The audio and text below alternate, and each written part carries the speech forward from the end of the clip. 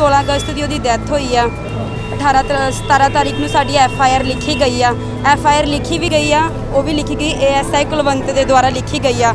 ਉਹਨਾਂ ਨੇ ਸਭ ਕੁਝ ਜਾਣਦੇ ਹੋਏ, ਸੁਣਨ ਦੇ ਬਾਵਜੂਦ ਵੀ ਉਹਨਾਂ ਨੇ ਸਾਡੀ ਐਫ ਆਈ ਆਰ ਜਿਹੜੀ ਗਲਤ ਦਰਜ ਕੀਤੀ ਆ 304 ਦਾ ਪਰਚਾ ਦਰਜ ਕੀਤਾ, ਜਿੱਥੇ ਕਿ 302 ਦਾ ਪਰਚਾ ਦਰਜ ਹੋਣਾ ਚਾਹੀਦਾ ਸੀਗਾ।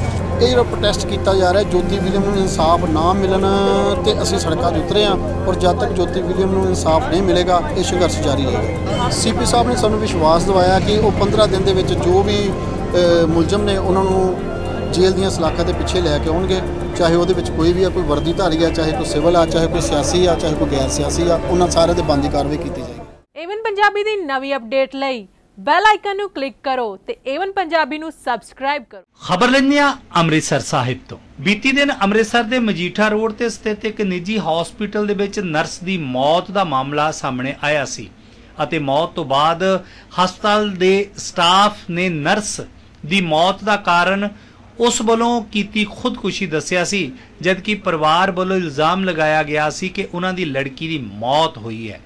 ਜਿਸ ਤੋਂ ਬਾਅਦ ਪੁਲਿਸ ਨੇ ਕਾਰਵਾਈ ਕਰਦਿਆਂ ਹੋਇਆ ਮਾਮਲਾ ਧਾਰਾ 304 ਅਧੀਨ ਦਰਜ ਕਰ ਲਿਆ ਸੀ ਅਤੇ ਪੁਲਿਸ ਵੱਲੋਂ ਅਜੇ ਤੱਕ ਦੋਸ਼ੀਆਂ ਨੂੰ ਨਾ ਫੜੇ ਜਾਣ ਤੋਂ ਬਾਅਦ ਅੱਜ ਮ੍ਰਿਤਕ ਜੋਤੀ ਦੇ ਪਰਿਵਾਰ ਮੈਂਬਰਾਂ ਨੇ ਸਮਾਜ ਸੇਵੀ ਸੰਸਥਾਵਾਂ ਵੱਲੋਂ ਅੰਮ੍ਰਿਤਸਰ ਦੇ ਪੁਲਿਸ ਕਮਿਸ਼ਨਰ ਦਫ਼ਤਰ ਦਾ ਘਿਰਾਓ ਕੀਤਾ ਹੈ ਅਤੇ ਪੁਲਿਸ ਪ੍ਰਸ਼ਾਸਨ ਅੱਗੇ ਮੰਗ ਕੀਤੀ ਹੈ ਕਿ ਉਹਨਾਂ ਦੀ ਮ੍ਰਿਤਕ ਜੋਤੀ ਨੂੰ ਇਨਸਾਫ ਦਿਵਾਇਆ ਜਾਵੇ। ਉਹਨਾਂ ਨੇ ਕਿਹਾ ਕਿ ਅਗਰ 15 ਦਿਨਾਂ ਦੇ ਵਿੱਚ ਜੋਤੀ ਨੂੰ ਇਨਸਾਫ ਨਾ ਮਿਲਿਆ ਤੇ ਪ੍ਰਦਰਸ਼ਨ ਹੋਰ ਤੇਜ਼ ਕੀਤਾ ਜਾਵੇਗਾ। ਇਸ ਸੰਬੰਧ ਵਿੱਚ ਮ੍ਰਿਤਕ ਦੀ ਭੈਣ ਨਾਲ ਕੀ ਗੱਲਬਾਤ ਹੋਈ ਹੈ ਤੇ ਸਮਾਜ ਸੇਵੀ ਸੰਸਥਾ ਦੇ ਆਗੂਆਂ ਨਾਲ ਕੀ ਗੱਲਬਾਤ ਹੋਈ ਹੈ, ਆਓ ਸੁਣਦੇ ਆ 16 ਅਗਸਤ ਦੀ ਉਹਦੀ ਡੈਥ ਹੋਈ ਆ।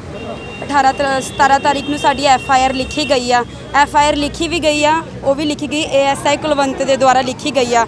ਉਹਨਾਂ ਨੇ ਸਭ ਕੁਝ ਜਾਣਦੇ ਹੋਏ ਸੁਣਨ ਦੇ ਬਾਵਜੂਦ ਵੀ ਉਹਨਾਂ ਨੇ ਸਾਡੀ ਐਫ ਆਈ ਆਰ ਜਿਹੜੀ ਗਲਤ ਦਰਜ ਕੀਤੀ ਆ 304 ਦਾ ਪਰਚਾ ਦਰਜ ਕੀਤਾ ਜਿੱਥੇ ਕਿ 302 ਦਾ ਪਰਚਾ ਦਰਜ ਹੋਣਾ ਚਾਹੀਦਾ ਸੀਗਾ। ਉਹਨਾਂ ਦੀ ਹੀ ਲਾਪਰਵਾਹੀ ਦੀ ਵਜ੍ਹਾ ਨਾਲ ਅੱਜ ਅਸੀਂ ਇੱਥੇ ਖੜੇ ਆ ਹੁਣ ਕੀ ਇਨਸਾਫ ਦਿਵਾਉਣ ਦੀ ਗੱਲ ਕਹੀ ਆ ਕਮਿਸ਼ਨਰ ਸਾਹਿਬ ਨੇ ਕੀ ਗੱਲ ਕਹੀ ਤੁਹਾਨੂੰ? ਹਾਂਜੀ ਹੁਣ ਉਹਨਾਂ ਨੇ ਸਾਨੂੰ ਇਹ ਵਾਅਦਾ ਕੀਤਾ ਵਾ ਕਿ ਜਿਹੜਾ 302 ਦਾ ਪਰਚਾ ਦਰਜ ਕਰਕੇ ਤੇ ਦੋਸ਼ੀਆਂ ਨੂੰ ਜਲਦ ਤੋਂ ਜਲਦ ਸਜ਼ਾ ਮਿਲੀ ਜੇਗੀ ਨਾਲੇ ਅੱਗੇ ਦੀ ਇਨਵੈਸਟੀਗੇਸ਼ਨ ਵੀ ਸ਼ੁਰੂ ਕੀਤੀ ਜਾਵੇਗੀ। ਕੀ ਤੁਸੀਂ ਸੈਟੀਸਫਾਈ ਦੇ ਜ- ਜਿਹੜੀ ਇਹਨਾਂ ਨੇ ਤੁਹਾਨੂੰ ਵਿਸ਼ਵਾਸ ਦਿਵਾਇਆ? ਪੂਰੀ ਤਰ੍ਹਾਂ ਤਾਂ ਨਹੀਂ ਹੈ ਬਟ ਥੋੜਾ ਜਿਹਾ ਤਾਂ ਸੈਟੀਸਫਾਈ ਹੈਗੇ ਆ ਕਿ ਕਿਸੇ ਨੇ ਤੇ ਸਾਡੇ ਲਈ ਅੱਗੇ ਅੱਗੇ ਅੱਗੇ ਕਦਮ ਵਧਾਇਆ ਵਾ। ਕੀ ਨਾਮ ਸੀ ਤੁਹਾਡਾ? ਮੈਂ Bhupinder Singh Sannu all India president Valmik Tirath Gyan Ashram. Sir ਅੱਜ ਜਿਹੜਾ ਪ੍ਰੋਟੈਸਟ ਕੀਤਾ ਜਾ ਰਿਹਾ ਜੋਤੀ ਦੇ ਹੱਕ 'ਚ ਕੀ ਕਹਿਣਾ ਚਾਹੋਗੇ? ਇਹ ਜਿਹੜਾ ਪ੍ਰੋਟੈਸਟ ਕੀਤਾ ਜਾ ਰਿਹਾ ਜੋਤੀ ਵਿਲੀਅਮ ਨੂੰ ਇਨਸਾਫ ਨਾ ਮਿਲਣ ਤੇ ਅਸੀਂ ਸੜਕਾਂ 'ਤੇ ਉਤਰੇ ਹਾਂ ਔਰ ਜਦ ਤੱਕ ਜੋਤੀ ਵਿਲੀਅਮ ਨੂੰ ਇਨਸਾਫ ਨਹੀਂ ਮਿਲੇਗਾ ਇਹ ਸੰਘਰਸ਼ ਜਾਰੀ ਰਹੇਗਾ। ਤੇ ਕੀ ਆਸ਼ਵਾਸਨ ਦਵਾਇਆ ਦਾ ਦਵਾਇਆ ਗਿਆ ਕਮਿਸ਼ਨਰ ਸਾਹਿਬ ਵੱਲੋਂ? ਸੀਪੀ ਸਾਹਿਬ ਨੇ ਸਾਨੂੰ ਵਿਸ਼ਵਾਸ ਦਿਵਾਇਆ ਕਿ ਉਹ 15 ਦਿਨ ਦੇ ਵਿੱਚ ਜੋ ਵੀ ਮੁਲਜ਼ਮ ਨੇ ਉਹਨਾਂ ਨੂੰ ਜੇਲ੍ਹ ਦੀਆਂ ਸਲਾਖਾਂ ਦੇ ਪਿੱਛੇ ਲੈ ਕੇ ਆਉਣਗੇ ਚਾਹੇ ਉਹਦੇ ਵਿੱਚ ਕੋਈ ਵੀ ਆ ਕੋਈ ਵਰਦੀਧਾਰੀ ਆ ਚਾਹੇ ਕੋਈ ਸਿਵਲ ਆ ਚਾਹੇ ਕੋਈ ਸਿਆਸੀ ਆ ਚਾਹੇ ਕੋਈ ਗੈਰ ਸਿਆਸੀ ਆ ਉਹਨਾਂ ਸਾਰਿਆਂ ਦੇ ਬੰਦੀ ਕਾਰਵਾਈ ਕੀਤੀ ਜਾਏਗੀ। ਅਗਰ ਕਾਰਵਾਈ ਨਾ ਹੋਈ ਤਾਂ ਤੁਹਾਡੇ ਵੱਲੋਂ ਐਜੀਟੇਸ਼ਨ ਕੀਤਾ ਜਾ ਸਕਦਾ ਜੀ? ਬਿਲਕੁਲ ਜੀ ਕੀਤਾ ਜਾ ਸਕਦਾ ਹੈ। ਔਰ ਸਾਰੇ ਸਮਾਜ ਵੱਲੋਂ ਕੀਤਾ ਜਾ ਰਿਹਾ ਇਹਦੇ ਵਿੱਚ ਸਾਰੇ ਭਾਈਚਾਰੇ ਸਾਰਾ ਸਮਾਜ ਔਰ ਸਾਰੀਆਂ ਪਾਰਟੀਆਂ ਇਕੱਠੀਆਂ ਹੋ ਕੇ ਇਹ- ਇਹਦਾ ਸੰਘਰਸ਼ ਜਿਹੜਾ ਵੰਡਣਗੀਆਂ ਸ਼੍ਰੀ ਅੰਮ੍ਰਿਤਸਰ ਸਾਹਿਬ ਤੋਂ ਧਰਮਵੀਰ ਗਿੱਲ ਦੀ report. Now, even Punjabi launch a newspaper, The Power of Words. Now, you check out all our daily updates on our website www.evenpunjabi.com and all updates on our social networks Facebook, Twitter, Instagram, and YouTube. Thank you.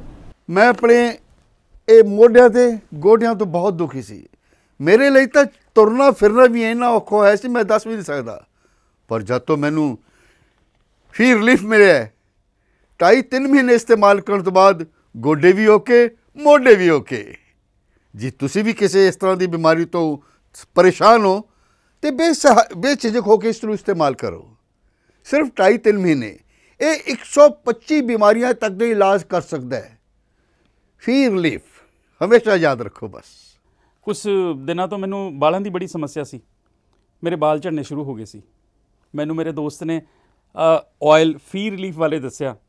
ਮੈਂ ਇਹ ਤੇਲ 3 ਕੁ ਮਹੀਨੇ ਲਾਣਾ ਆਪਣੇ ਸਿਰ ਤੇ apply ਕੀਤਾ। ਇਹ ਬਿਲਕੁਲ ਆਯੁਰਵੈਦਿਕ ਤੇਲ ਹੈ। ਇਹਦਾ ਕੋਈ ਸਾਈਡ ਇਫੈਕਟ ਨਹੀਂ ਹੈ। ਤੇ ਮੇਰੇ ਵਾਲ ਜਿਹੜੇ ਗੰਜਪਣ ਪੈਣਾ ਸ਼ੁਰੂ ਹੋ ਗਿਆ ਸੀ, ਉਹ ਦੁਬਾਰਾ ਆਉਣ ਲੱਗ ਗਏ।